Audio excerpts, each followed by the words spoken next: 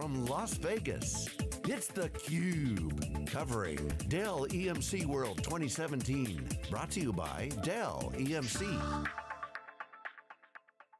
back. This is Dell EMC World. We are theCUBE. We're here in Las Vegas.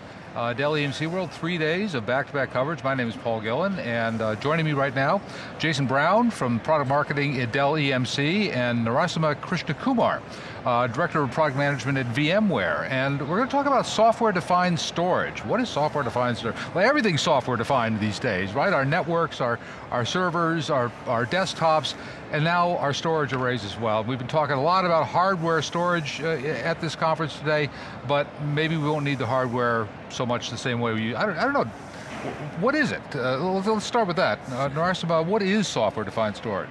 So software-defined storage is managing storage through software, where you have a data plane that resides on any hardware that the customer chooses, and then the software is able to manage that uh, storage. So that's software-defined storage. There are different flavors of software-defined storage, uh, which we are here to talk about.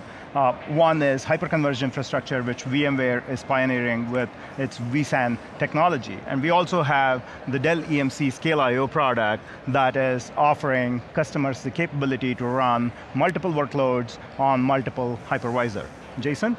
Yeah, definitely. So you think about the evolution of the data center with software defined. Started with compute, right? VMware did it back in 2001 with virtualization, where they were able to abstract, pool, and automate compute. Then we've got software defined networking, which has been hot. And now the last part of the SDDC is storage piece. So the key message with software defined storage is to essentially abstract the hardware, the storage inside the hardware, away from you know, the typical array type architecture, instead running on uh, off-the-shelf x86 servers instead. So you're simplifying the data center and you're standardizing as well on more common componentry to reduce costs, to increase efficiencies and things like that. Isn't this what SANs were supposed to be in the first place? Well, right, so weren't SANs created to get rid of DAS? Yeah, and what yeah. we've seen is that customers are coming to us saying, I have a SAN model, but I'm finding it to be a little too rigid or I'm managing multiple silos of SAN and it's becoming very cumbersome. And then hey, guess what? What happens after three to five years? Data migrations, tech refreshes, dirty word, right? And so customers are facing some of these challenges and they're, so they're looking at software-defined storage to help solve some of those challenges they're facing with traditional infrastructure like arrays. Uh, what you're doing is essentially, uh, you're, you're, you're de-emphasizing the, the hardware as, as a vital component in the, uh, in the equation. Isn't that something the Dell EMC wouldn't want to do? I mean, why would you want to make hardware essentially a, something you don't think about? Well, it's a, essentially a portfolio approach. So, think about mainframes. How long have they been around, right? And, and they won't be going away. Same with traditional infrastructure. For certain workloads, perfectly acceptable to continue running them on traditional array infrastructure. What we're seeing with software-defined storage is that for some of these third platform next generation applications, as well as some less critical workloads, customers are looking to optimize the storage that is being run on, and software-defined storage does that by giving you common hardware with all the goodness, the reliability, the enterprise-grade feature function set, uh, the scalability and performance, really lives in the software itself and therefore just gives you a lot simpler data center to not only manage, but also uh, build. So you say SDS right now is not something that you would use in a mission critical application. It's something that has a, a, a lower performance threshold perhaps? So I, I would say it's not um, lower performance, it's applicable to most workloads. So if you look at the evolution of the market, x86 workloads have become mainstream. Uh, virtualization is mainstream. Customers have successfully virtualized their data center. Most of the customers that we engage with at VMware have successfully virtualized their data center. For those customers that are there in their virtualization journey and have completed the virtualization journey, they are looking at how do we extend that virtualization to storage and manage storage within the same framework of a server.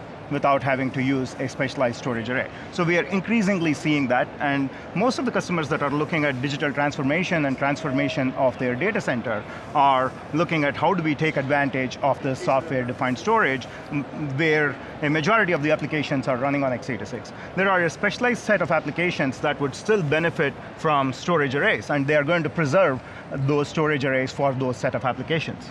Now, in storage, you typically would have tier one storage or your high speed storage, tier two, sort of your, your mid-range, and then your archival storage. Would you have different SDS solutions for each of these, or would you abstract across the whole, the whole range of, uh, of platforms? Well, Dell EMC's approach is a portfolio approach. So we don't necessarily have a jack of all trades. so there's a various products within the set. So for block storage workloads, you'd have Scale IO. For file-based workloads, something like Isilon. Something with archive and, and object storage, ECS. So it's more of a portfolio approach in that sense. But uh, from a customer's perspective, am I am I uh, abstracting? Am I software defining all of those at once in one in one common pool, or do I? Uh, to what level of control do I still I still have with the uh, with where that data resides? So you do have a level of control uh, as to where that data resides. What we have seen customers do is take a step-by-step -step approach to software defining their storage portfolio. Uh, for example, with the VMware vSAN technology, we see customers that are using uh, virtualization solutions today with the vSphere product that we have. They have external storage systems and they're looking at how do we take a set of workloads that are running on external storage systems, bring it into the software-defined storage uh, approach. So as Jason pointed out, I think the portfolio, Dell EMC, Dell Technologies portfolio uh, has all the assets for our customers to do this piece by piece journey. It's an evolution, it's not going to happen overnight. We believe it's an evolution and customers will slowly start embracing software defined storage. So let's talk about use cases. What, uh, right now, what are some of the most appropriate use cases that you're seeing for customers adopting the, this, this technology? So with VMware's vSAN technology, which is hyperconverged infrastructure, the first design goal that we started the product with was VDI. We see a lot of customers that are using vSAN for VDI. Now we are at the sixth generation of the product, and customers have started moving enterprise class applications onto uh, the uh, vSAN platform. They now run Oracle, we are certified for SAP, we, are, we offer all the enterprise class features such as deduplication on our all-flash platform, as well as erasure coding. So customers now are embracing vSAN for enterprise class applications, tier one applications such as Oracle, SAP, and mission critical applications. And we see some of the similarities as well with ScaleIO. We target more enterprise service provider uh, businesses looking to consolidate block storage workloads, looking to build a private cloud, and looking to do uh, third platform DevOps type use cases as well, so containers, uh, OpenStack, things like that. So that's where we kind of target our, our use cases. These are not high performance applications. They can maybe mission critical, but they're not high performance necessarily. Uh, they are high performance in that the IOPS requirements from the storage, expected from the storage system are enormous.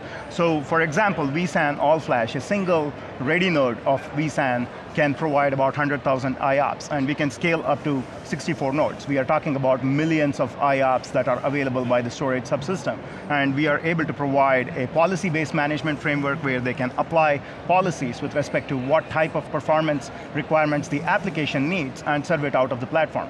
So these are applications that have high performance requirements as well as a blend of mixed workloads that can be supported by the platform. Do you work across purposes at all with your colleagues on the hardware side where they're trying to sell the, the, uh, uh, virtues of their specific hardware platform and you're saying, well, put it all in software, we'll all manage it as a pool? So we do, uh, we do uh, leverage the underlying capabilities of the hardware. For example, NVMe is one such example of a hardware technology that is readily available from our hardware partners. We work very closely with those hardware partners to make sure that the software leverages the performance characteristics that the underlying hardware provides. So at VMware, we take this ecosystem approach where we work closely with the partners, make sure that the drive is capable of providing those IOPS and we are able to take advantage of those uh, drive characteristics yeah, this and provide it to our customers. This is the magic of software-defined storage, right? Depending on your workload and what you're trying to achieve, software-defined storage can support it. So if you do have a high IOPS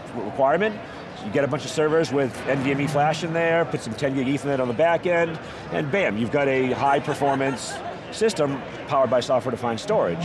But if you don't have that requirement, then you could build a, a hybrid type Yep. environment where you've got some SSDs as a cache, but you've got more spinning disk at the back end. So that's the magic of software-defined storage, that you're able to actually tailor the environment based on the workload whole new world out there. Jason Brown, Narasimha, Krishnakumar, thank you so much for joining us, uh, telling us about this uh, uh, topic that uh, I knew very little bit about, but which clearly is going to be on a radar going forward. Uh, we'll be back from Dell EMC World in Las Vegas in just a moment. This is theCUBE.